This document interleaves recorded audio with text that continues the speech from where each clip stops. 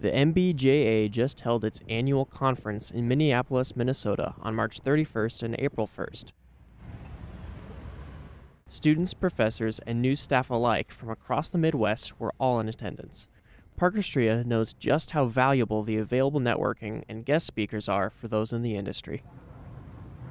That's what makes the, the conference itself so important is you can just you can't get that information or that that one-to-one connection with some of these people anywhere else.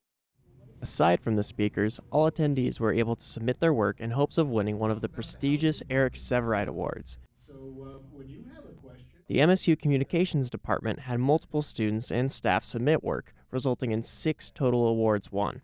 Cole Clementich had the honor of winning one of these awards for MSU.